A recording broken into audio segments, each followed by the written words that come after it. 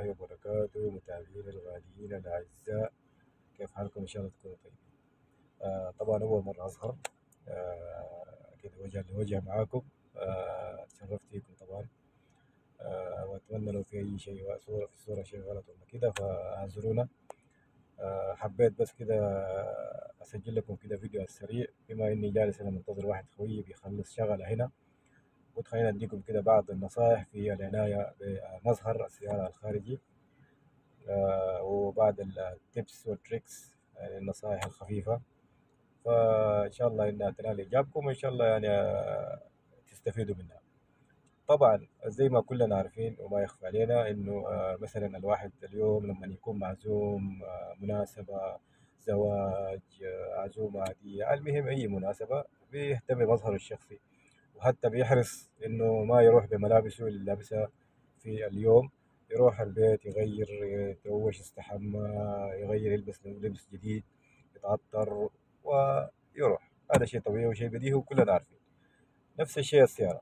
أنت لما تيجي تكشخ تكشخ وتلبس وتتزين وتلبس النظيف والجديد وتروح للمناسبة هذه أو العزومة وجاي يوم بسيارة مثلا مبهدلة ووسخانة. انت كده خربت الكشخة الداخلية كلها الكشخة اللي انت كاشخها جوا خربتها صراحة يعني اديتها بدل ما يديك 10 على 10 بيديك 5 من 10 ليش؟ لأنه خلاص أول انطباع هو أخذ منك إنه إيش إيش السيارة هذه؟ إيش السيارة اللي جاي فيها هذه؟ عرفت؟ قبل ما يشوفك عرفت؟ فعشان كده حبيت يعني أنصح إنه الواحد لازم يهتم بالمظهر الخارجي يعني للأسف نحن عندنا الثقافة هذه في في العناية بالسيارة والعناية بالمظهر الخارجي للسيارة شوي ضعيفة ف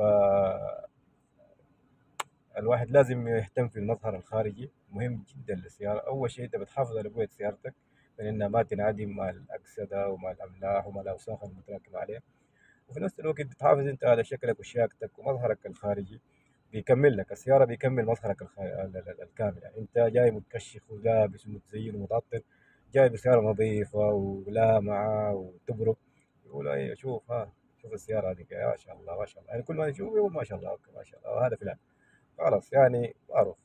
أما أنت جاي متكشف وجاي وتعبان من جوا لابس ومتكشف وجاي بسياره مهدوبه خربت على الكشخة كلها. خربت على نفسك الكشخة خربت على نفسك عرفت؟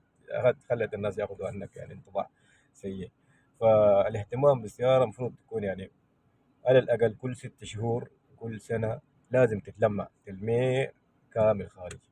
هذا غير الغسيل طبعا بشكل دوري أنا أنصح في ناس يقعدوا شهر كامل ما يغسلوا السيارة ما أدري كيف يعني صراحة هو الغسيل المفروض كل أسبوع أنت بتعتني بالسيارة بتشيل الأوساخ من البودي بحيث إنه الأوساخ هذه ما تتجمع للبودي وتتراكم وتقعد فترة طويلة أحيانا بيكون فيها مثلا الله يكرمكم اللي هو مخلفات الطيور دي كلها بتأثر على البوية فأنت لما تخليها كل ما تخليها فترة طويلة هي كل ما تأثر على البوية وتأثر على الشيء على مظهر السيارة وشكل السيارة فهذا الشيء في الأخير راح يتلف بوية سيارتك وتضطر إنك ترش وتدخل في خسائر تانية فخير يقول لك الوقاية خير من العلاج. والاهتمام بالسيارة طبعا بيطول عمر البوية وعمر اللمع وهذا شيء طبعا معروف. وعندي فيديوهات كثيرة في القناة طبعا متكلم عن الطرق والأشياء هذه. هذه هي حبيت النصائح البسيطة هذه وأنتم عارفين طبعا قبل ما حتى لو ما قلتها بس إنه حبيت كده ألفت النظر عنها. وإن شاء الله إنه أكون يعني فدتكم وأشوفكم إن شاء الله في مقطع مقطع ثاني. وإذا عجبكم المقطع ما تنسوا طبعا تنشروه للي تحسوا إنه بيستفيد منه عشان يوم الفائدة. الله يعطيكم العافية. اشوفكم في مقطع ثاني.